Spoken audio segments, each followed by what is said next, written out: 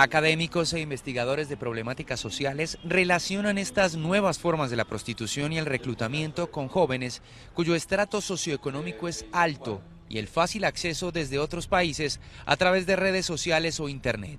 Eso no solamente es exclusivo de poblaciones de estratos socioeconómicos bajos, no, ha cogido los estratos socioeconómicos medios y altos. ¿Esto por qué? Porque es una prostitución que en cierta medida puede ser rentable por los ingresos que se dan, ingresos que pueden variar entre 1.500.000, 2 millones, 3 millones quincenalmente. El pago en dólares o euros es el principal gancho.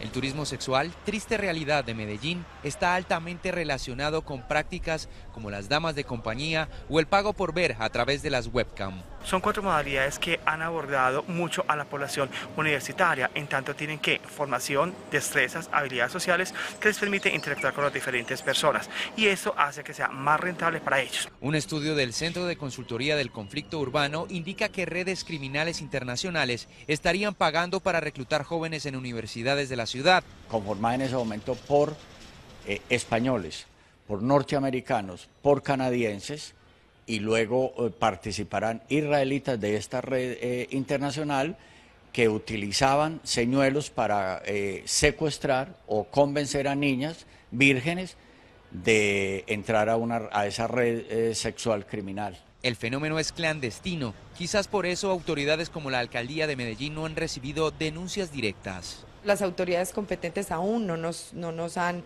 notificado de la presencia de carteles o de algo como tú lo llamas, porque eso requiere de una denuncia y una investigación judicial. Colegios públicos y también privados estarían en la mira de los proxenetas y redes de prostitución en Medellín.